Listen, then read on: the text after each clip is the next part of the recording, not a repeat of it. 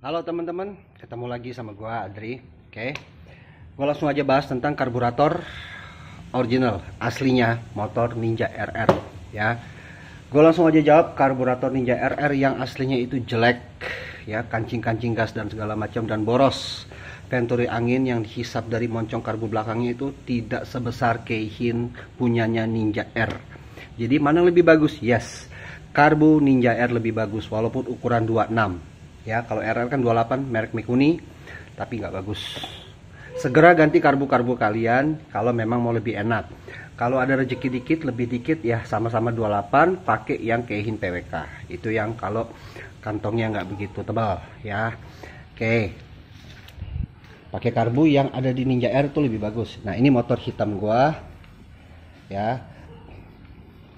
Karbunya udah kalian tahu tapi udah di dimmer supaya jadi 28 Oke. Nah, ada lagi teman-teman yang suka pakai PJ34.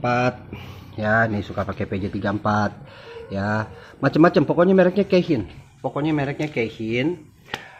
Jangan pernah pakai karbonnya RR standar, ya. Itu aja penjelasan dari gua dan ada yang nanya, "Bang kok sampai sampai karburator gede-gede gitu gini?" Uh, blok-blok yang dipakai sama ninja-ninja sekarang kan bloknya KW tuh bloknya nggak seperti bloknya gold nggak seperti bloknya 1878 eh, silver yang dimiliki oleh JTX 150 makanya kemampuannya nggak waduh gitu loh. Ya udah mungkin pada pada nggak mau main blok jadi mereka cuma bikin aja bloknya ya kan. Ya dikorek-korek harian gitu. Lubang-lubangnya dibikin sama seperti ninja-ninja aslinya. Ya cara murahnya sih kayak gitu sih kalau nggak nggak belum mampu beli beli uh, blok aslinya ya blok gold atau blok uh, nya JTX 150 tadi. Makanya penopangnya di karburator ya terserah mau PWK mau PJ34 mau mau PWM 38 mau PWK 38 mau PWK 40 bahkan terserah ya. Yang penting kehin. Dan ingat kalau motor yang sudah sampai speknya full ya yang sudah sampai sampai full alangkah bagusnya. Dan wajib sih bukan alangkah bagusnya pakai radiator ya radiator gede.